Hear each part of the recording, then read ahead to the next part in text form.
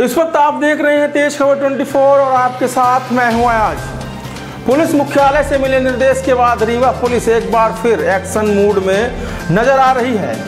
Police नशे के कारोबारियों के खिलाफ मोर्चा खोल दिया है। हम आपको बता दें कि रीवा में विगत तीन दिनों के भीतर गांजा, चरस व कोरेक्स की बड़ी मात्रा में खेप पकड़ी जा चुकी है। मुख्यालय से निर्देश पर चलाए जा रहे अभियान में रविवार को रीवा की रायपुर करचुलियान पुलिस, बैकुंठपुर व गोविंदगढ़ की पुलिस ने कार्रवाई करते हुए नशीली कप सिरप के साथ तस्करों को गिरफ़्तार किया है। ज़िले भर में की जा रही इस कार्रवाई से नशा कारोबारियों में हड़कम मच गया है।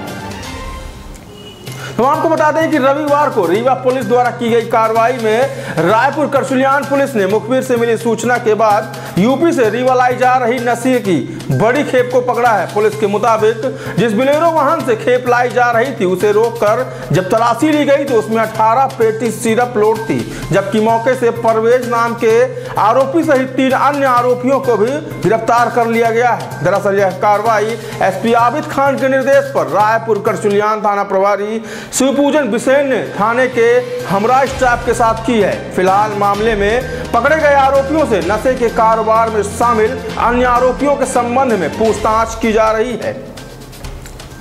इधर दूसरी कार्रवाई ज़िले के बैकुंठपुर थाना क्षेत्र में की गई है। बैकुंठपुर थाना प्रभारी दीपक त्रिपाठी ने बताया कि मुखबिर से मिली सूचना पर फलहान गाँव के एक घर में दबिश देते हुए चार पेटी नशीली कप सिरप बरामद की गई है।